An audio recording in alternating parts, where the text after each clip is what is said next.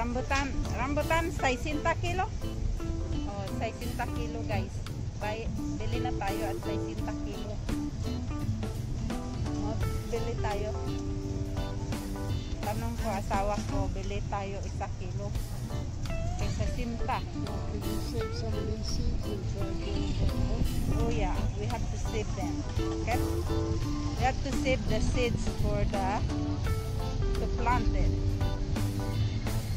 Dami dito guys sa Mexico ng rambutan. See? This one is so good. Okay, we're gonna buy. Put in the plastic.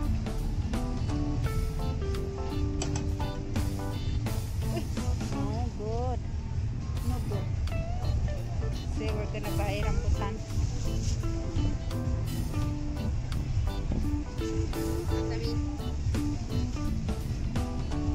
Pipiliin natin kasi is, some is not good.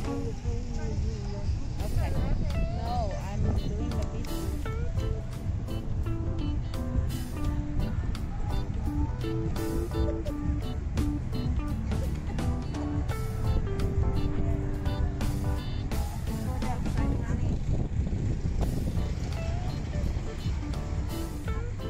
Show me